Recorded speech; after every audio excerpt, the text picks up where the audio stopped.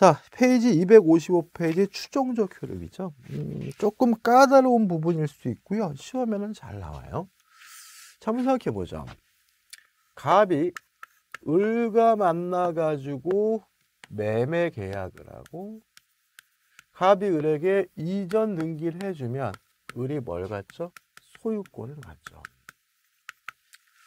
자, 을은 이렇게 자기 앞으로 등기하고 있기 때문에 몇 가지 사실에 대해서 추정이 돼요. 첫째, 소유자임을 추정을 받습니다. 우리가 권리의 적법이 추정된다. 이런 말을 쓰죠. 또 을이 소유권을 취득하려면 을의 아, 요 매매 계약이 유효해야 되겠죠. 따라서 매매 계약이 유효함도 추정을 받아요. 두 번째 등기 원인의 적법이 추정이 된다. 이런 말을 쓰는 거죠. 또 을이 소유권을 취득하려면 을 앞에 이루어진 등기가 유효해야 되겠죠. 다시 말하면 을의 등기가 유효하다는 사실도 추정을 받습니다. 이거 우리가 등기 절차의 적법이 추정이 되는 거죠. 아, 공부하실 때 조심할 것은 뭐냐면 권례적법 이렇게 외우지 마시라고요. 그러니까 살아있게 기억하시되. 자, 을이 갑과 매매 계약을 하고 이전 등기 받으면 소유자임을 추정을 받는다. 또 을에게 소유권 인정되려면 매매 계약이 유효해야 되니까 그 매매 계약이 유효함도 추정을 받고요. 을이 소유권을 취득하려면 의뢰 등기가 유효해야 되니까 요 의뢰 등기 유효함도 추정을 받는다. 이렇게 살아있게 기억하시기 바라고요. 그 다음에 추정받는다는 말은 스스로 뭐 할 필요 없다는 얘기죠? 입증할 필요가 없다는 얘기죠. 따라서 을은 요 세 가지에 대해서 추정을 받으므로 스스로 입증할 필요가 없는데 병과 같은 제3자에 대해서도 물론 입증할 필요가 없고요. 갑과 같은 전 권리자에 대해서도 입증할 필요가 없다는 것이 우리 판례 입장입니다. 다시 말하면 제3자 병이 나타나서 니께 맞냐 짜시가라고 우리 우리에게 지랄거리면 을은 소유자임을 추정받기 때문에 스스로 자신이 소유자임을 제3자에게 입증할 필요가 없는 거고요. 또 갑이 을에게 내가 너한테 언제 팔았냐 짜샤라고 하더라도 을은 등기 원인인 매매 계약의 유효함도 추정받기 때문에 을이 갑으로부터 구입했다는 사실을 스스로 뭐 할 필요 없는 거죠? 입증할 필요가 없다는 얘기죠. 이해되시죠, 여러분들? 자, 근데 이러한 추정이 깨지는 경우가 있어요. 여기서 좀 조심하는 것은 뭐냐면 추정이 깨지면 등기가 무효다 이렇게 접근하지 마시라고요. 자, 추정받는다는 말은 스스로 뭐 할 필요 없어요? 입증할 필요가 없다는 얘기니까 결국은 추정이 깨졌다는 말은 이제는 뭘 해야 돼요? 입증을 해야 된다는 말에 불과한 것이지 추정이 깨졌다 그래서 등기 자체가 이미 무효가 됐다라고 간주하지는 않아요. 자, 그럼 언제 추정이 깨지고 언제 입증해야 되느냐? 첫째, 반증이 존재하는 경우. 자, 갑이 을에게 안 팔았다는 사실을 입증했어요.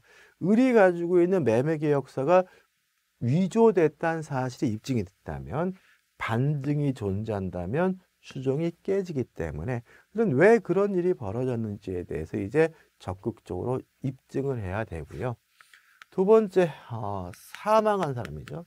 사망한 사람 허무인으로부터 이전 등기 받은 경우에도 추정 등 아, 추정이 깨진다는 것이 우리 판례 입장입니다. 자, 예를 들어서 을 앞으로 이전 등기가 2월 15일 이루어졌단 말이죠. 근데 갑이 예를 들어서 2월 10일 날 사망했다는 사실이 밝혀졌어요. 그러면 사망한 사람으로부터 이전 등기가 됐기 때문에 추정은 깨지고요. 무효라는 말은 아닙니다. 그럼 왜 그런 일이 발생했는지에 대해서 적극적으로 입증을 해줘야 되고요. 아니면 갑의 주민번호 확인해 봤더니 갑이라는 사람은 존재하지 않는 사람이에요. 허브인이에요. 그런 경우에 추정이 깨진다는 것이 우리 판례 입장이라는 거 주의하시기 바랍니다.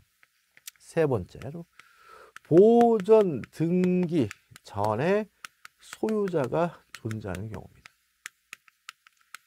자, 보존 등기라는 것은 맨 처음을 하는 등기이기 때문에 원래는 보존 등기 전에 소유자가 있을 수는 없는 거거든요. 근데 만약에 보존 등기 전에 또 다른 소유자가 존재하고 있다는 사실이 입증이 됐다면 그때는 추정이 깨진다는 것이 우리 팔 입장이에요. 자, 여러분 한번 생각해 보세요. 자, 갑이라는 사람이 건물을 신축을 했습니다. 그러면 건물을 신축하는 것은 법률 행위가 아니기 때문에 갑은 기둥과 외벽과 지붕이 만들어지는 순간 등기하지 않아도 뭘 갖게 되는 거죠? 소유권을 갖게 되는 거죠. 기억나시죠, 여러분들? 그리고 나서 갑이 을에게 이 건물을 팔았어요. 그러면 FM은 자기 앞으로 보전 등기를 하고 을 앞으로 이전 등기를 해줘야 되는 것이 FM이거든요.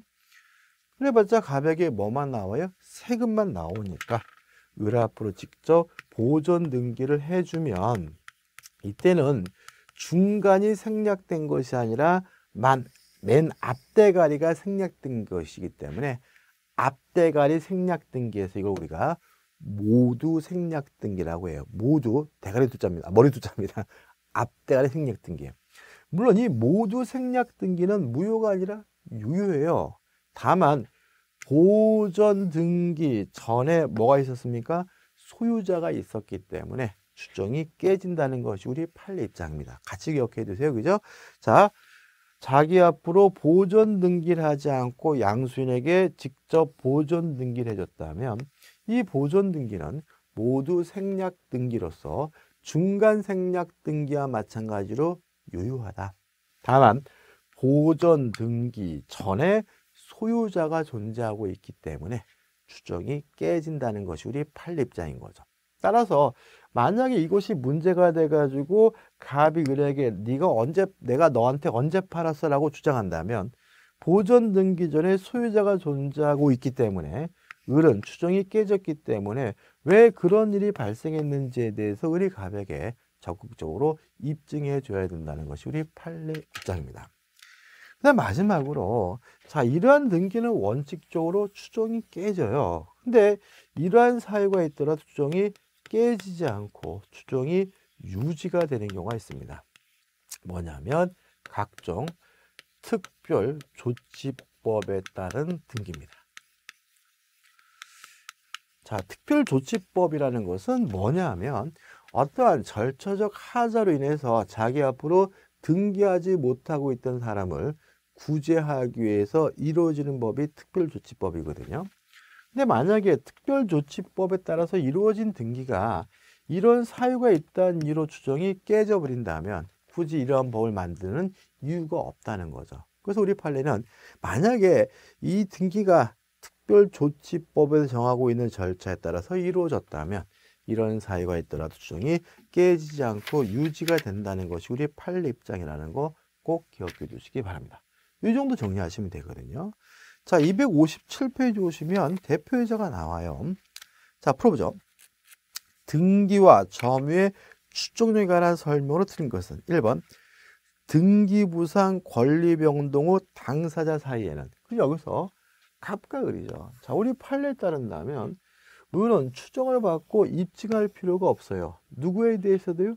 갑에게 대해서도. 따라서 당사자 사이에서도 추정이 인정된다는 것이 우리 판례 입장이니까 1번 등기 부상 권리 변동 후 당사자 사이에서는 등기의 추정력을 원형할 수 없다는 지문은 X가 되고요. 답은 1번인 거죠. 2번 등 아, 점에서 공부할 거죠. 전후 양시에 점유한 사실이 있는 때는 그 점유는 계속된 것으로 추정을 하고요. 3번 원인 없이 부적법하게 등기가 말소가 됐어요. 그러면 말소가 됐는데 그 말소가 부적법하면 물권이 소멸되지 않겠죠. 그죠? 그러니까 보세요. 말소가 부적법합니다. 그러면 말소가 안 된 거잖아요. 권리가 소멸되지 않은 거잖아요. 따라서 원인 없이 부적법하게 등기가 말소된 경우 권리 소멸의 추정력은 인정되지 않는다는 지문은 맞는 지문이죠. 4번은 뭐냐면 이런 겁니다. 자, 제가 지금 안경을 쓰고 있죠? 그럼 저는 이 안경을 점유함으로써 소유자임을 추정받는 거죠. 제가 이 안경을 쓰고 있으면 여러분들은 어떻게 합니까? 야, 저 꼬질의 안경은 저 인간 거구나 라고 생각하잖아요. 다시 말하면 저는 이 안경에 대해서 점유함으로써 소유자임을 추정받아요. 다시 말하면 안경 동사는요. 다시 말하면 점유하고 있다는 이유로 소유자로 추정받는 것은 동사라는 거죠. 그럼 부동산의 경우에는 누가 소유자임을 추정받습니까? 등기하고 있는 사람이 소유자로 추정받는 거예요. 따라서 4번 점유자의 권리 추정 규정은 동산에만 적용됩니다. 부동산의 경우에는 점유하고 있다는 이유로 소유자로 추정되는 것이 아니라 등기하고 있어야 소유자로 추정이 되는 것이니까 4번 점유자의 권리 추정 규정은 특별한 사정이 없는 한 부동산 물권은 적용되지 않는다. 맞는 질문이 되겠죠. 5번 소유권 이전 등기 원인으로 주장된 계약서가 진정하지 않은 것으로 증명됐어요. 자, 매매 등기 원인의 적법이 추정이 됩니다. 근데 만약에 반증이 존재한다면 추정이 뭐가 돼? 깨지죠. 그럼 문제 지문에서 소유권 이전 등기 원인으로 주장된 계약서가 진정하지 않은 것으로 증명됐다는 말은 반증이 존재한 얘기고 반증이 존재하게 되면 추정이 뭐가 됩니까? 깨지기 때문에 등계 적법 추정은 깨진다. 맞는 질문 따라 틀린 것은 뭐죠? 1번이고 1번이 답인 거죠. 2번 공신력입니다. 자, 우리 민법은 부동산 저 아니, 동산의 점유에 대해서는 공신력을 인정하지만 부동산 등기에 대해서는 공신력을 인정하지 않습니다. 따라서 무효인 등기를 믿고 거래하더라도 보호받지 못하게 됨을 주의하시기 바랍니다. 2번 가등기에 효력해서 넘겨보시면 내용이 나오죠. 자, 이런 문제입니다. 예를 들어 보면 쉬워요. 갑이 을에게 뭐라 그러냐면 네가 공인중개사 시험에 합격을 하면 내가 살고 있는 아파트를 주겠다라고 얘기를 했어요.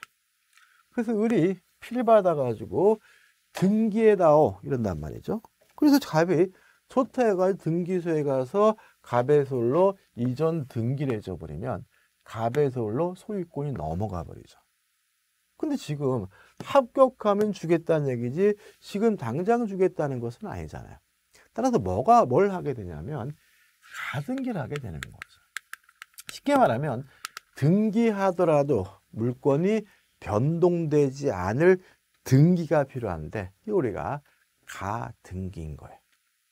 그죠? 이걸 좀 정확하게 쓰면은 이런 표현을 씁니다. 청구권 보존의 가등기인 거죠. 안 되죠. 자, 왜냐하면 을은 지금 당장은 소유권이 없고 나중에 합격하게 되면 이전 등기해 달라고 요구할 수 있는 뭐가 있는 거죠? 청구권이 있는 거죠. 그러한 청구권을 보존하기 위해서 하는 것이니까 청구권 보존의 가등기라고 하고요. 조심할 것은 이 청구권은 항상 채권적 청구권만을 의미한다는 거죠. 물권적 청구권을 보존하기 위한 가등기는 허용되지 않는다는 거예요. 자, 한번 생각해 보세요. 자, 을이 합격하면 소유권은 없죠. 이전 등기해달라고 요구할 수 있는 청구권이 있으니까 이건 뭐가 되는 거죠? 채권의 청구권인 거예요. 그죠, 여러분들? 자, 우리가 물권의 청구권이 있다는 말은 그 사람에게 무엇도 있다는 얘기죠? 물권도 있다는 얘기죠. 물권이 있는 사람에게 굳이 가등기를 인정해 줄 일은 없으니까 여기서 말하는 청구권은 뭐냐? 채권의 청구권만을 의미하는 거죠. 자, 정리해 보죠. 첫째, 가등기 자체만으로는 아이고 아무런 효과가 없습니다. 가등기를 한다 그래서 물건이 변동되지는 않아요. 갑이 을에게 가등기를 해줬더라도 여전히 누구 거예요? 갑의 소유인 거예요. 또 가등기 자체만으로는 아무런 효과가 없기 때문에 가등기 상태에서는 어떠한 청구권도 인정되지를 않습니다. 가등기 기한 청구권 인정되지 않는 거죠. 따라서 만약에 갑이 을에게 가등기를 해주고 병에게 팔아먹고 병에게 이전 등기를 해줬더라도 그런 자신의 가등기 상태에서 병의 등기에 대해서 말소해달라고 청구할 수는 없어요. 또 추정력도 인정되지는 않습니다. 왜냐하면 권리의 적법이니 등기원의 적법이니 등기 절차 적법이냐는 추정은 본등기에 대해서만 인정이 되고요. 가등기 자체만으로는 아무런 효과가 없으니까 물권 변동의 효력도 청구권도 인정되지 않고 수정력도 인정되지 않는 거죠. 그럼 적어볼게요. 자, 맨 앞에 갑 앞으로 소유권 등기가 되어 있었고요. 그리고 나서 을 앞으로 합격하면 소유권을 넘겨준다는 의미에서 가등기가 이루어졌고 세 번째로 병 앞으로 매매를 원인으로 소유권에 관한 이전 등기가 됐어요. 이 가등기만으로 아무런 효과가 없기 때문에 병은 적법하게 소유권을 취득하는 거고요. 그런 병의 등기에 대해서 말소해달라고 청구할 수는 없는 거죠. 다만 나중에 을이 가등기에 기해서 본 등기를 하게 되면 이때 가등기가 어떤 효과를 발휘해 주냐면 순위를 보존해 주는 효과를 발휘해 주는 거죠. 다시 말해 을이 나중에 합격했다는 이유로 가등기 기한 본등기, 가등기의 소유권에 관한 본등기를 하게 되면 이 소유권 순위가 1, 2, 3, 4가 되는 것이 아니라 2순위란 이 순위가 뭐가 된다는 거죠? 보존이 된다는 거예요. 그래서 결과적으로 첫째, 병의 등기는 등기관이 직권으로 말소합니다. 후 순위 권리는 등기관이 직권으로 말소하게 되는 거죠. 두 번째, 본등기 청구의 상대방이죠. 자, 을이 나중에 공인중개사 시험에 합격을 해가지고 누구한테 본등기를 청구하느냐? 음, 갑한테 청구하는 거다. 다시 말하면 가등기 당시 소유자가 본등기 청구의 상대방이 되는 거죠. 왜요? 어차피 병의 등기는 직권으로 말소가 될 등기니까요. 자, 여기서 항상 조심할 것이 있습니다. 을이 나중에 가등기에 기해 소유권에 관한 본등기를 하면 순위가 보존이 되긴 해요. 그렇지만 물권을 취득한 시점은 가등기 한 때가 아니라 본등기 한 때라는 점이죠. 다시 말하면 가등기에 기해서 본등기를 한다 그래서 물권 취득 시기가 뭐 되는 건 아니에요? 소급되는 것은 아닌 거예요. 다시 한번 정리해 볼까요? 자, 가등기에 의해서 보존되는 청구권은 채권적 청구권만을 의미한다. 물권적 청구권 보존을 위한 가등기는 허용되지 않아요. 따라서 이 청구권은 소멸시 걸릴 수 있겠죠. 그 다음에 가등기 자체만으로는 아무런 효과가 없다. 눈꽃만큼도 효과가 없다. 따라서 가등기를 했다 그래서 물권이 변동되는 것도 아니고요. 가등기 상태에서 어떠한 청구권 인정되는 것도 아니고요. 가등기 상태에서 수정력이 인정되는 것도 아닌 거죠. 다만 가등기에 기해서 본등기라면 이 가등기가 뭘 해줍니까? 순위를 보존해 주기 때문에 후순위 권리는 등기관이 직권으로 말소하게 되고요. 또 후순위 권리인 등기관 직권으로 말소할 권리이기 때문에 본등기 청구의 상대방은 현재 소유자인 병에게 하는 것이 아니라 가등기 당시 소유자인 가백에 하는 거고요. 마지막으로 물권을 취득하는 시기는 본등기한 때지 가등기한 때가 아님을 주의하시기 바랍니다. 그 다음에 뭐 적진 않겠지만 가등기사의 권리도 이전할 수 있겠죠. 따라서 가등기사의 권리도 부기등기 방식으로 이전할 수가 있고요. 또 가등기의 가등기도 가능하다는 입장이고요. 또 무효인 가등기 유용, 재활용하는 거 가능하지만 그 효과는 소급하지 않는다는 건 너무나 당연한 내용인 거죠. 자, 259페이지의 대표이지입니다. 갑 소유 부동산의 을명의로 소유권 이전, 청구권, 소유권 이전 등기 청구권 보존을 위한 가등기가 격려된 후 갑에서 병명 이후 매매를 원인한 소유권 이전 등이 격려되고 당일 갑이 병에게 점유를 이전하였다. 이 경우에 대한 설명이 좀 옳은 거죠.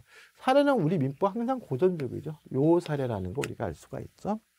1번 을이 가등기에 기한 본등기를 하면 을의 소유권 취득 시기가 가등기 시로 소급되므로 병의 소유권 취득은 무효이다. 아닙니다. 소유권 취득 시기가 물권 취득 시기가 소급되는 건 아닌 거죠. 또 병의 등기가 직권으로 말소가 되는 이유는 병의 등기가 무효소가 아니라 의뢰 본등기가 가등기로 인해서 순위가 보존됐기 때문인 거죠. 2번 병명의 소유권 이전 등기가 원인 무효라면 가등기 권리자인 을이 직접 그 말수를 구할 수 있다 X입니다. 가등기 자체만으로는 아무런 효과가 없고 청구권도 인정되지 않아요. 따라서 병의 등기가 무효든 무효든 을은 병에게 말수해달라고 청구할 수가 없는 거죠. 3번 을이 가등기에 의하여 보존하는 갑에 대한 등기 청구권은 소멸시 걸리지 않는다 X입니다. 자 보존되는 청구권은 뭐죠? 채권 청구권이죠. 물권 청구권이 아니죠. 따라서 뭐에 걸립니까? 소멸시에 걸립니다. 4번 갑과 을이 매매 계약을 합의 해지하면서 이미 지급한 매매 대금을 반환하여 그 가등기를 말소한다고 한 약정에는 그 가등기를 담보 가등기를 유용한다는 내용도 포함되어 있다 X입니다. 우리 판례 나올 건 아니거든요. 그러니까는 뭐 담보 가등기 유용하는 것은 아니라는 것이 판례다. 이렇게 기억하시면 되고 중요한 건 아닙니다. 5번이 답이죠. 을이 본등기를 하려면 가백에 청구하여 하고 병의 등기는 직권 말소된다. 다시 말하면 본등기 청구의 상대방은 현재 소유자가 아니라 가등기 당시 소유자이기 때문에 5번이 맞는 것이고 5번이 답이 되는 거죠. 자, 그 다음에 5번. 물권 변으로 가져오는 등기 요건, 유효 요건이죠. 아, 1번. 유효 요건 보시고. 2번. 형식적 유효요건에서 1번. 등기 기재와 그 멸실 등에서 복잡하게 나와 있는데. 일단 우리 판례는 실체적 권리관계에 부합한다면 그 등기는 유효해요. 다시 말하면 등기 원인이 잘못됐더라도 그 등기가 실체적 권리관계에 부합하면 유효하고요. 또 사망한 사람으로부터 이전 등기가 됐더라도 실질 권리관계 부합하면 유효한 거죠. 다만 주의하실 것은 이런 일이 생기게 되면 뭐는 깨져? 추정은 깨진다는 거. 등기가 무효가 아니라 뭐죠? 추정이 깨지는 거죠. 그 다음 260페이지 오시면 뭐가 나오냐면 이중 보존 등기가 나오고 8가 나오는데 이 부분은 아마 공시법 시간은 더 깊이 있게 공부해야 되지만 우리 민법이 이 정도만 기억하시면 돼요. 자 이런 얘기죠. 자, 보존 등기라는 것은 뭐냐면 맨 처음으로 하는 등기잖아요. 근데 이중으로 됐대요. 그러면 하나의 부동산의 등기부가 두 개란 얘기거든요. 그럼 둘 중에 하나는 없애야 되겠죠. 어떻게 없앨 것이냐 문제에 대해서 우리 판례는 선 보존 등기가 유효하고 후 보존 등기가 무효라는 입장입니다.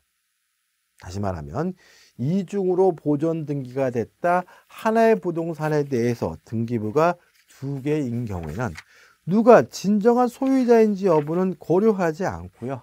일단 선 보존 등기가 유효하고 후 보존 등기는 무효라는 입장이고요.